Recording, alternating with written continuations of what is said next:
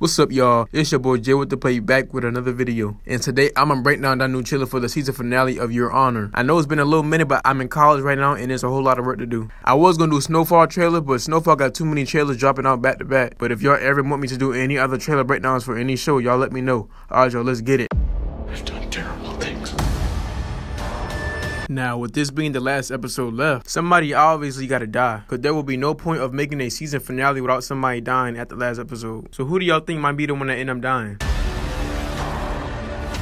What do y'all think is next for Michael? This man done put his whole entire life on the line just to get his son out of trouble. Meanwhile, his son over here living his best life. That's why I kind of don't like Adam a little bit. Plus, what y'all think is next for Eugene? This man has been through a whole lot. He lost his entire family, starting off with his brother. Plus, on that last episode, Eugene did find out a whole lot of stuff about his brother too, proving that he really was innocent. You have a girlfriend.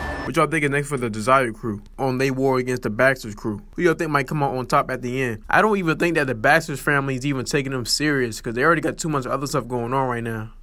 You have a mother-in-law. Not gonna lie, this cop right here, she do be getting on my nerves a lot. I hope she be the one who end up getting killed. Now, what y'all think is next for Adam? So Adam and Jimmy finally go ahead and meet each other. Jimmy knows that he's Michael's son. And as usual, Adam always looking all scared in every episode. Even though this entire mess started over Adam.